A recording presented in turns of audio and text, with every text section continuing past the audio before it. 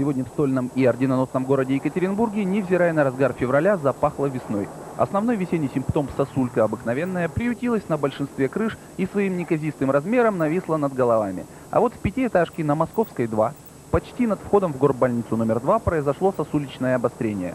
На балконе верхнего этажа как-то вдруг вырисовалось локальное ледяное чудовище. Везде сосульки висят по 20-30, ну максимум по 50 сантиметров, а тут посредь дома – Висит глыба метра три высотой и несколько сотен килограммов весом.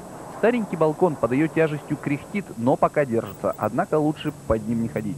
Известно, что в квартире, украшенной ледяной торпедой, живет бабулька.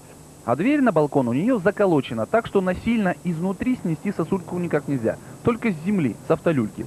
Сегодня такая люлька из местного ЖЭУ приехала и снизу сбила сосульки с крыши. Дело в том, что Управление Горздрава уведомило глав врачей всех екатеринбургских клиник о необходимости сбивать сосульки над входами в лечебно-профилактические учреждения. Уже было замечено несколько случаев попадания небольших сосулек в пациентов, пока без серьезных последствий.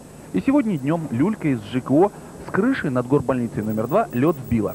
А вот до бабушкиного балкона добраться не смогла. И вот почему. В это трудно поверить, но в данной точке пространства пересеклись интересы двух спецслужб – жилищно-эксплуатационных ликвидаторов сосулек и снегоуборочных комбайнов муниципального предприятия спецавтобаза. Специалисты из ЖЭУ говорили, пока чужой грейдер снег не зачистит, мы к балкону подъехать не сможем. Вот так.